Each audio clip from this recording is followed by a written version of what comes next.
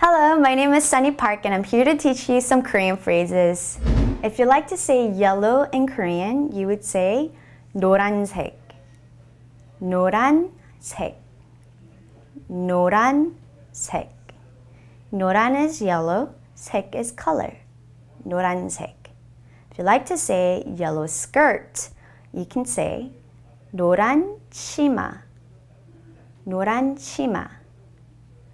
노란 치마.